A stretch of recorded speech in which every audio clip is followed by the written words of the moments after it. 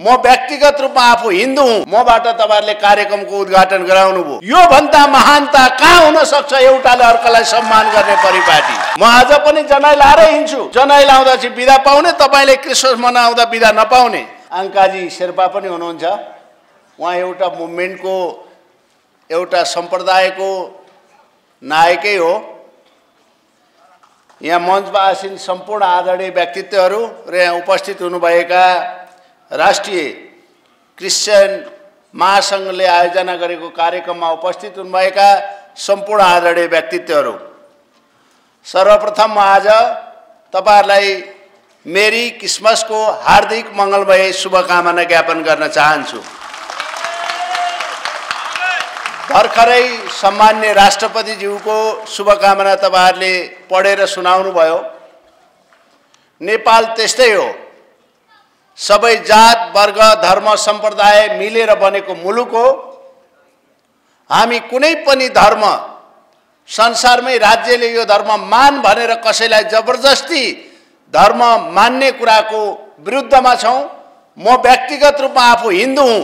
मबाट तपाईँहरूले कार्यक्रमको उद्घाटन गराउनु भयो। योभन्दा महानता कहाँ हुन सक्छ एउटाले अर्कालाई सम्मान गर्ने परिपाटी? त्यसैले म आफू मेरो धर्म म मान्छु जबरजस्ती धर्म परिवर्तनको पक्षमा म जान चाहन्न। नेपाल सबै धर्म सबै जात सबै धर्म सबै संस्कृति एक ठाउँमा राखेर बसेको सम्प्रदाय बनेको मुलुक हो। हामीले संविधानमा सबै जातलाई स्वीकारेका छौँ सबै वर्गलाई स्वीकारेका छौँ सबै धर्मलाई स्वीकारेका छौँ। पञ्चायतकालमा एउटा मात्र धर्म मान्दा कतिपय हामी धार्मिक स्वतन्त्रताको पक्षमा लाग्यौँ। धर्म मान्न पाउनुपर्छ भन्दा तपाईँहरूका कति साथीहरू जेल जानु पर्यो जेलमा बस्नु पर्यो हामी त्यसको विरुद्धमा थियौँ र आज संविधानमा हामी धार्मिक स्वतन्त्र पक्षमा हामीले धर्मलाई एउटा देशको एउटा धर्म भनेर घोषणा नगरेर यो सबै जातको सबै धर्म सबैले मान्न पाउने अधिकार सुनिश्चितता गरेका छौँ। म तपाईँहरूलाई उग्र कुरा पनि गर्न चाहन्न। हामी सयौँ दशकदेखि एक आपसमा मिलेर बसेका नेपालीहरू आफ्नो धर्म मान्न पाउने अधिकारको बारेमा राज्यले कसैलाई दमन गर्नु हुँदैन। राज्यले कसैले यही धर्म मान्नुपर्छ भनेर घोषणा पनि गर्नु हुँदैन। धार्मिक स्वतन्त्रता हुनुपर्दछ। फेरि पनि मैले भने हामी सबैलाई सम्मान गर्न चाहन्छौँ सबैको अस्तित्व स्वीकार गर्न चाहन्छौँ सबै नेपालीलाई मेलमिलापको धारणा अनुसार अगाडि बढाउन चाहन्छौँ। भोलिको राजनीति आर्थिक सामाजिक र धार्मिक संस्कार पनि त्यसै गरी बिल्डअप भएर बसोस्। योभन्दा अगाडि पनि तपाईँहरूका कार्यक्रममा हामीलाई बोला बोलाउनु भएको थियो। त्यो बोलाउँदाखेरि म धेरैचोटि उपस्थित भएको छु। तपाईँहरूको अध्यक्ष गत रात दाई हुनुहुन्थ्यो। आज उपस्थित हुन पाउनु भएन। एउटा टेक्निकल कारणले तर म तपाईँहरूलाई अनुरोध गर्न चाहन्छु योभन्दा अगाडिको सरकारले नै आजको दिनलाई बिदा दिएर तपाईँहरूलाई सम्मान गर्ने नेपाली सबैलाई सम्मान गर्ने कामको सुरुवात गरेको छ। यो सबैलाई सम्मान हो यसका लागि पनि म नेपाल सरकारलाई हार्दिक धन्यवाद दिन चाहन्छु। हामीले जनाइ लाउँदा बिदा हुने तपाईँहरूले आज क्रिसमस मनाउँदा बिदा नहुने प्रचलन थियो। म आज पनि जनाइ लाएरै हिँड्छु। जनाइ लाउँदा चाहिँ बिदा पाउने तपाईँले क्रिसमस मनाउँदा बिदा नपाउने अथवा लोसार मनाउँदा बिदा नपाउने पद्धतिको यो सरकारले अन्त्य गरेर सबै धर्मको सम्मान गर्ने परम्पराको विकसित भएको छ यसलाई निरन्तरता दिउँ। र फेरि पनि भने तर जबरजस्ती धर्म परिवर्तनको बाटोमा मुलुकलाई लानु हुँदैन। आफ्नो इच्छाले आफ्नो धर्म परिवर्तन आफ्नो धर्म मान्ने पद्धतिको विकास गरौँ। मलाई बोलाउनु भयो आफ्ना कुरा राख्ने अवसर प्रदान गर्नुभयो।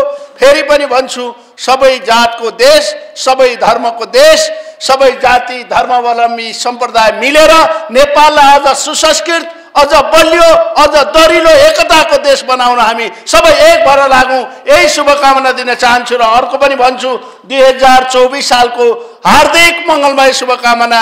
मेरी किस्मत सबैको जय होस्। जय नेपाल नमस्ते। लाल सलाम। होइन? अब यहाँनिर एउटा कुरा आउँछ। आजको दिन विश्वभरि ख्रिस्टको जन्मदिन भनेर मगाइ मनाइन्छ तर मेरी क्रिसमस भन्छ। ह्याप्पी बर्थडे जिजस भन्दैन। अचम्म छ। किन? अनि बाइबलमा यीशु ख्रिस्ट जन्मेको उल्लेख पनि गरिएको छैन।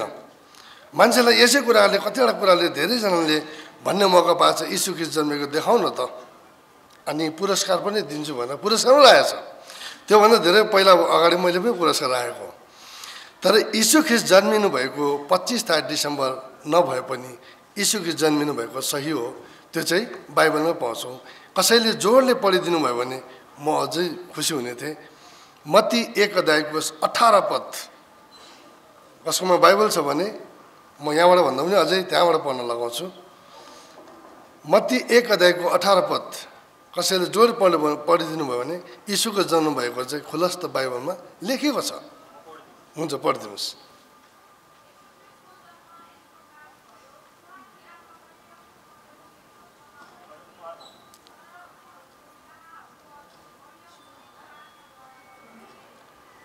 तपाईँ पनि पढिदिनुहोस् न यहाँबाट धन्यवाद बहिनीलाई तर टाढो भएकोले माइक भएन। मलाई एउटा हाते माइक पनि चाहिन्छ अहिले दिनुहोस् है।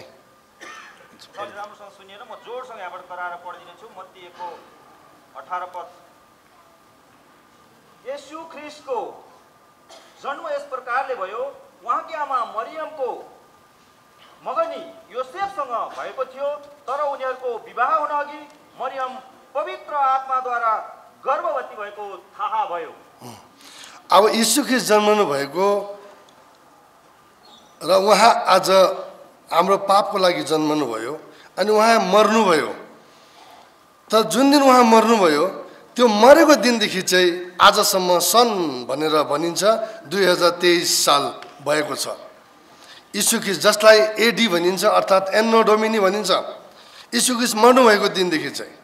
यीशु ख्रिस्ट जन्मनु भएको दिनदेखि चाहिँ जोडिँदैन तर जुन दिन मर्नुभयो तर उहाँ किन मर्नुभयो भन्दाखेरि चाहिँ उहाँले संसारलाई यति बिघ्न प्रेम गर्नुभयो। मानिसहरू पापले छटपटिएको देखेर उहाँले जन्म लिनुभएको हो।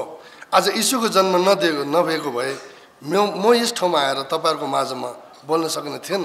अशान्तिले छटपटिएको हृदय जिन्दगी बर्बाद भएको थियो। तर जुन दिन यीशु ख्रिस्टलाई मैले विश्वास गरेँ मेरो जीवन बदलेको यहाँ धर्म परिवर्तनको कुरा यहाँ अहिले कुरा आइरहन्छ। जब मान्छेको लुगा परिवर्तन लुगा पुरानो हुन्छ अवश्य त्यो मान्छेले के हुन्छ? लुगा नयाँ लगाउँछ। यसरी नै आफ्नो धर्ममा बस्दा बस्दा शान्ति र आनन्द नपाएपछि मान्छेले आनन्दको खोजीमा हिँड्दै जाँदा शान्तिको खोजमा जाँदा यीशुलाई विश्वास गर्दाखेरि धेरै धेरै विश्वासीहरू क्रिस्चियनहरूको धेरै धेरै जनसङ्ख्या बढ्दै बढ्दै गएको हो। वास्तवमा कसैको घरमा घिसारेर गर तँ यीशु विश्वास गर। तँ यीशुलाई विश्वास गर भन्दै घिसारेर कसैलाई पनि यहाँनिर जबरजस्ती गरिएको छैन। यो त अहिले झन् धर्मनिरपेक्ष राष्ट्र हो नि होइन र? एक समय थियो पञ्चायती व्यवस्था थियो। अहिले त हामी सयौँ थुल्का थुङ्गा फुल्का हामी एउटै माला नेपाली भनेर गाउँछौँ तर हामी माला भएर हिँडिसकेको छैनौँ। सबैको धर्ममा आफ्नो आफ्नो अस्तित्व छँदैछ। कसैले कसैको विरोध गरेको छैनौँ। सबैजना मिलेर फुलबारी जस्तो भनेर बसिरहेको छ। तर आज यहाँ यीशु ख्रिस्ट नजन्मिनु भएको हो भने चाहिँ आज हाम्रो अस्तित्वविहीन। हामी बेकारको भएर जान्थ्यौँ। आज हाम्रो यति साह्रो बिजोग हुन्थ्यो हाम्रो आज प्रभुले हाम्रो लागि चाहिँ उहाँले प्राण दिन आउनुभयो किन भनेदेखिलाई चाहिँ म लिम्बूको छोरा हो। मलाई आमा र बाउले म एउटै छोरा हो। मेरो बाउले जहिले पनि ढुङ्गाको पूजा गर्नुहुन्थ्यो लात्तीले हान्थ्यो भयो ढोक भन्नुहुन्थ्यो। अनि ढोगिसकेपछि मैले यसो ढोक्थेँ ढुक्क लागेर आउँथ्यो। भोलिपल्ट फेरि एउटा कुकुरले त्यही ढुङ्गामा कुकुरले कुकुरले खुट्टा उठाइराखेर मुतिराखेर गयो। मलाई एउटा प्रश्न आउँथ्यो हिजो मलाई बाउले टाउको ढोक भनेर आज कुकुरलाई त केही पनि गरेन त है? एउटा प्रश्नले सताइरहन्थ्यो को चाहिँ होला सही? को चाहिँ होला सही? यो संसारमा को चाहिँ होला ईश्वर? धेरै अम्लामा गरि नसक्ने ईश्वर छन्। कसलाई चाहिँ पुज्नु होला मैले? को चाहिँ सही होला? भनेर मैले खोजिहिँड्थेँ खोजिहिँड्थेँ तर मैले भन्थेँ सबैको हातमा सबै ईश्वरहरूको हातमा भाला बन्चोरो तिर्सुल धनुकाँड देख्दाखेरि चाहिँ मैले मलाई चाहिने ईश्वर चाहिँ हातमा भाला नभएको हुनुपर्छ। यदि ईश्वरै हुन्छ भने भन्दा चाहिँ यीशुको हातमा भाला थिएन बन्चरो पनि थिएन। उहाँको हातमा प्रेम मात्र थियो क्या? प्रेम। उहाँको प्रेमले गर्दा चाहिँ आजले बचाउनु भयो। कसैलाई उहाँले झगडा गर्नु भएन। बुझौँ म सारा ईश्वरहरूले झगडा गरेको युद्ध गरेको देखेँ तर मैले कहिले पनि यीशुले युद्ध गरेको देखिनँ कहिले झगडा गरेको देखिनँ। अनि मैले धेरैहरूको धेरै म सानैदेखि अनुसन्धान हो यो डलर आफ्नै देशमा छ नेपाल यस्तो देश हो संसारको सबभन्दा धनी राष्ट्र हो नेपाल तर हामीले नचिनेको मात्र हौँ मैले त उहिले चिनिसकेको हुँ। यति धेरै तर यति धेरै सम्पदा भएको देशमा बाँचेका छौँ तर प्रभु यीशु ख्रिस्टले आज प्रेम गर्नुभयो होइन। तर म अनुसन्धानमा धेरै गरेर हिँड्दाखेरि चाहिँ ईश्वरहरूको अनुसन्धान धेरै गर्दा जाँदाखेरि चाहिँ कुन ईश्वर चाहिँ सही हो? मैले धेरै जग्गा जुस्तुन्थेँ हरेकको घर घरमा गेटमा भगवान्हरूको नाममा माग्नु आउँछ। तर मैले जिन्दगीमा कहिले पनि जय यीशु भनेर लोटा बोकेर मागेको आएर देखिनँ मैले क्या। किनभने यीशु चाहिँ कहिले पनि तपाईँलाई माग्नलाई आउनुभएको होइन अनि तपाईँलाई दुःख दिन आउनुभएकै होइन। हामी मान्छेलाई प्रेम गर्नलाई उहाँले आफ्नो प्राण दिनुभयो। अब कुरा के आयो भनेदेखिलाई चाहिँ किन चाहिँ उहाँले रगत बगाउनु पर्यो? भन्दाखेरि चाहिँ म एउटा लिम्बूको छोरो पाप क्षमा गर्नको लागि आमा र बाउले कहिले कुखुरा काट्थ्यो कहिले बाख्रा काट्थ्यो। हामी बाख्रा र कुखुराको रगतले पाप मोचन गर्न चाहन्थ्यौँ। तर आज विश्वमा अहिलेसम्म कुनै पनि यस्तो डक्टर जन्मेको छैन। विश्वमा अहिलेसम्म कुनै पनि यस्तो साइन्टिस्ट जन्मेको छैन जसले कुखुराको रगत हालेर मान्छे बचाउन सकेको सफल भएको अहिलेसम्म डक्टर जन्मेको छैन।